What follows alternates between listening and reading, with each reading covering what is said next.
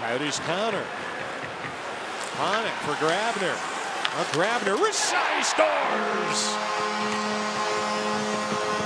Well, they get one back, Tyson, just under six minutes to go. It's a two-goal game.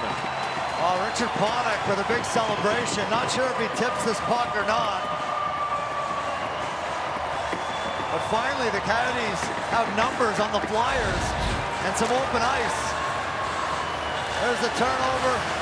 Here they come the other way. Grabner gets this puck, cuts right across to that good ice and throws a shot. Crossbar, height. I'm not sure that was tipped in. I think it just beat Pickard. Richard Panik's stick is definitely in the way. Only he knows if he tipped it or not.